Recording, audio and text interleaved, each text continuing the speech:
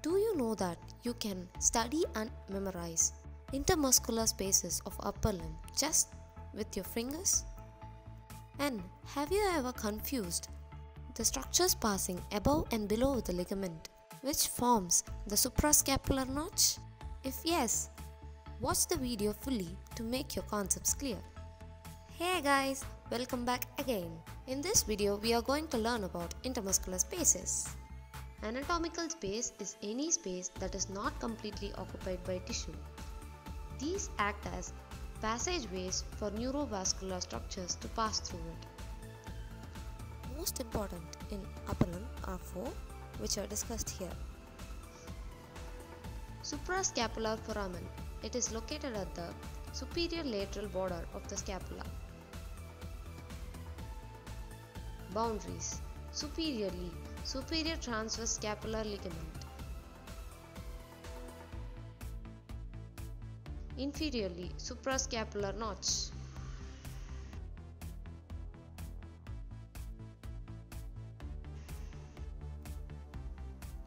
Contents suprascapular nerve which passes under the ligament, which is a branch of the brachial plexus. Suprascapular artery passes adjacent to the nerve above the ligament. Here's a mnemonic to remember what structures lies above and below the ligament. Air Force fights above. Navy Force fights below. So, from this we can remember that suprascapular artery runs above the ligament and the suprascapular nerve runs below the ligament. A for Air Force, A above, N for Navy and it's below.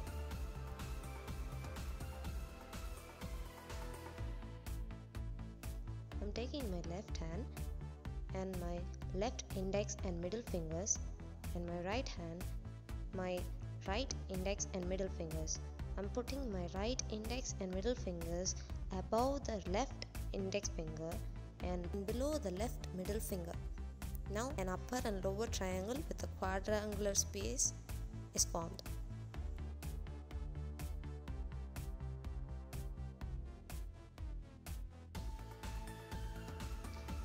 Quadrangular space boundaries superiorly subscapularis in front shoulder joint capsule teres minor inferior border behind inferiorly teres major superior border medially long head of triceps brachii lateral border laterally surgical neck of humerus. Quadrangular space contents axillary nerve and posterior circumflex humeral vessels.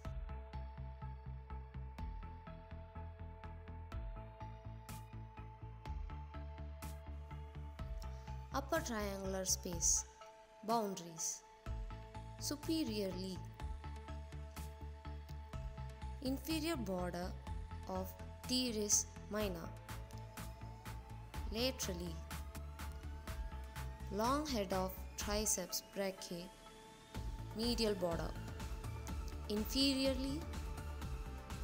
Superior border of teres major.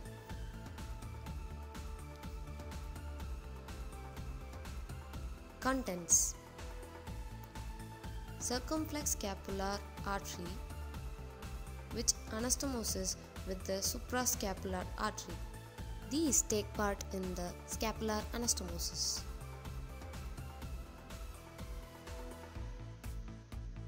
Lower triangular space boundaries medially long head of triceps brachii lateral border laterally humerus medial border superiorly teres major lower border.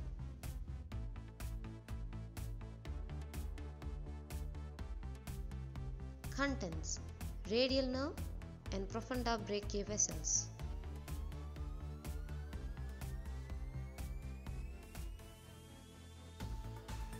Clinical anatomy Compression by trauma, hyperplasia, or hypertrophy compression of the suprascapular nerve results in paralysis to both supraspinatus and infraspinatus muscles.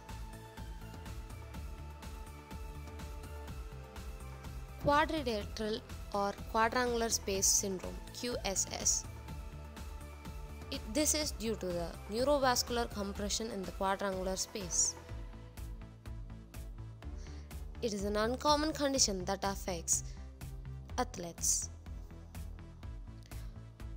Four main signs that are associated with QSS are poorly localized shoulder pain, paresthesia not associated with the dermatomes, positive arteriogram revealing an occluded PCHA that is posterior circumflex humeral artery while the affected shoulder is abducted or externally rotated discrete point tenderness in the area of the quadrangular space. Let's see these topics in exam point of view. Mostly in university exams, we can expect a 1 mark MCQ and a 5 mark, or else they may ask it as a subdivision question in 15 mark question. So, this topic is quite mark yielding. How to present this question in exam when asked as a 5 mark?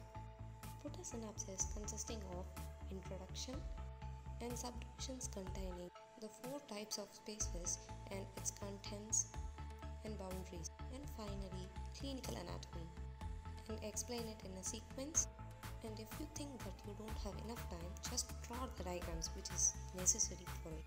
The diagrams should explain what you wish to say. That's enough, and never forget to add clinical anatomy. It is the main point in, in scoring marks. And that's it for today. Thanks for watching. If you enjoyed learning, do hit the subscribe button and put a thumbs up.